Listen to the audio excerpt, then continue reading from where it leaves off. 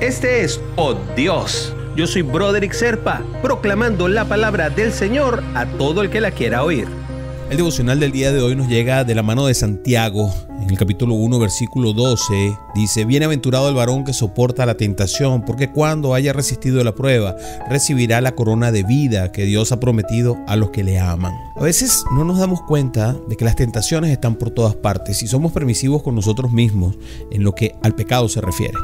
A veces pensamos que los pecados que nosotros mismos tendemos a dejar como que pecados menores, eh, esos no tienen tanta importancia y podemos tolerarlos y Dios lo va a tolerar de una manera más indulgente debido a que no lo vemos como algo tan malo que nosotros hacemos.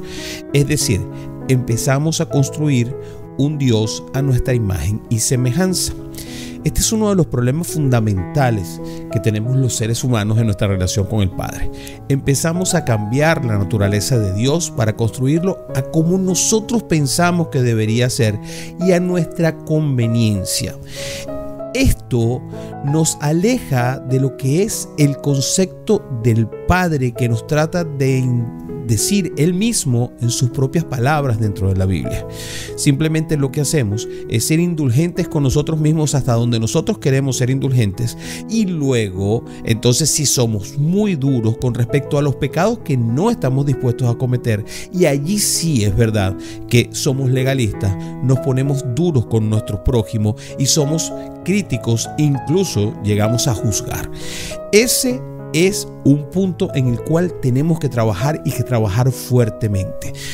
Todos los conceptos que Dios ha vertido en su palabra tienen que ser cumplidos, pero no podemos seleccionar los que queremos cumplir y los que no. Si no, evidentemente existen consecuencias. Eso es lo que llamamos obediencia cumplir la palabra del Padre, aunque nos cueste trabajo hacerla. Y eso tiene incluso más mérito. Así que mi hermanito, mi hermanita, tenemos que ponernos claros y ser honestos con el Padre en lo que se refiere al seguimiento de su palabra y nuestra obediencia. No es obedecer lo que queremos obedecer, sino es obedecer la palabra que nos dejó el Señor, porque en ella están sus mandamientos, sus leyes y su forma en el que Él quiere traducir nuestra vida. ¿Y qué tal si oramos por eso que esta vez nos va a costar mucho? Padre, cuando las pruebas se me encuentren en el medio del camino de la vida, sosténme, Padre, y haz que yo confíe aún más en esa palabra que tú me das, Señor. Hazme entender, Padre, que tu palabra es buena siempre y no solamente cuando me conviene, Padre. Y que cumplir precisamente contigo las cosas que me pide y que me cuestan más, precisamente es lo que me hacen un mejor ser humano. Es lo que hacen que yo sea un mejor hijo tuyo y me parezca mucho más a Jesús. Señor, te lo pido en el nombre de Jesús. Amén, amén y amén.